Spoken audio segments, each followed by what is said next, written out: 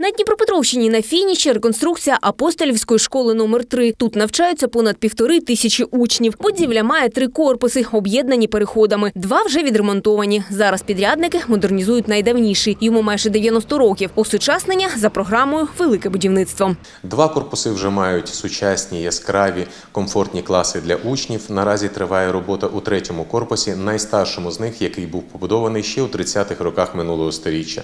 Третьому корпусі ремонтники осучаснюють класні кімнати, кабінет фізики, вчительську та їдальню. Школярі кажуть, їм подобається, як на очах змінюється їхня школа. Як однотонні сірі стіни вдало розбавляють яскраві акценти, наприклад, різнокольорові двері та вчительська зона у класах.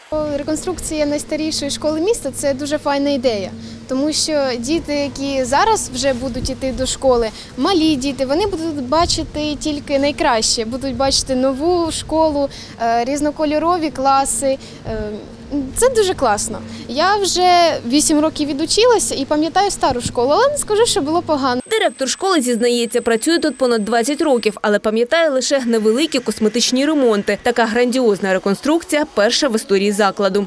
560 дітей, які ждуть, чекають з нетерпінням 1 вересня, значить, щоб пройти і побачити оздоблену територію, значить, побачити відремонтовані класи. Ну, так повинно бути.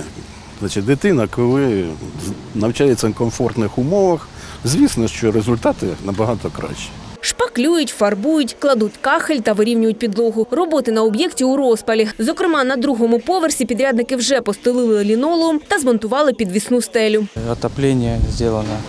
Э, С 1 августа планируя школа за, за- заносить мебель, готовится к 1 сентябрю.